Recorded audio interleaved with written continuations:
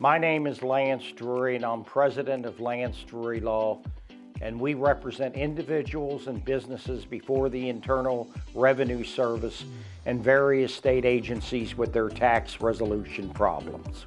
Oh, it feels great to get a result for our client that changes their life. You know, we save their businesses, we save their marriage, we save their financial situation from financial devastation. We give them their life back, we give them peace of mind, and we get the big bad wolf, the IRS, off their back so they can live again, they can breathe again, and they can go on with their life. My name is Samantha Wisniewski. I am an attorney with the Law Office of Lance R. Drury, and we handle tax resolution cases.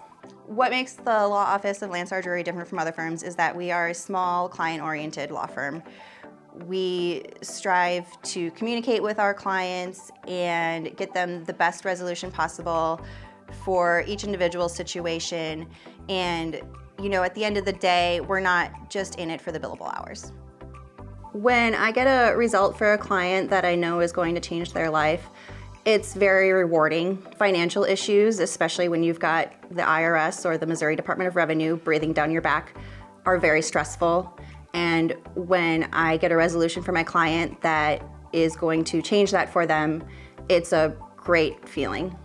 It's very important to our firm to have client communications. We try to stay in touch with our clients, even if nothing's going on, at least once every 30 days.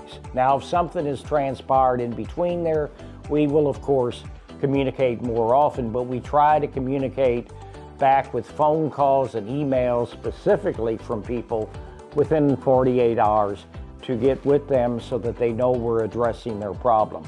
But client communication is paramount to us because client communication or the lack thereof is the biggest complaint clients have of attorneys. So it's probably our number one priority. If anybody that's watching this is in need of legal assistance with the IRS or the Missouri Department of Revenue, I would encourage you to reach out to our office and set up a consult and speak with myself and Lance. We can more than likely help you get out of this stressful situation.